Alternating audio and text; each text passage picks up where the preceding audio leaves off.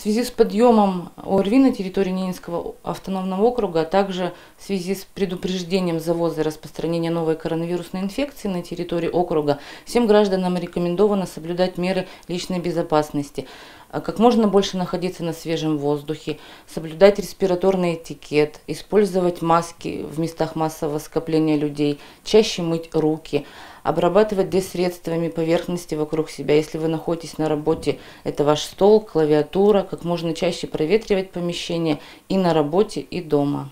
А все граждане, которые прибывают на территорию Ненецкого автономного округа из стран, где зарегистрированы случаи новой коронавирусной инфекции, а, обязательно должны звонить по телефонам горячей линии.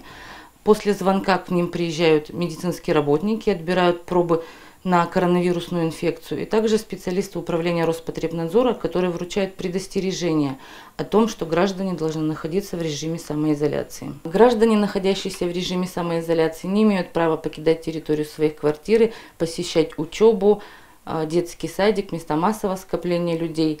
А также УВД у нас осуществляет проверки, находятся ли граждане в режиме самоизоляции – при необходимости гражданам, находящимся в режиме самоизоляции, могут приехать волонтеры, привезти им продукты питания, лекарства, либо выкинуть мусор. В Ненецком автономном округе у нас есть тест-системы, которые позволяют выявить коронавирусную инфекцию. Нас их обеспечил научно-исследовательский институт Роспотребнадзора «Вектор». Все исследования мы делаем на своей базе. При получении сомнительных или положительных результатов для подтверждения мы их отправляем в город Новосибирск «Вектор».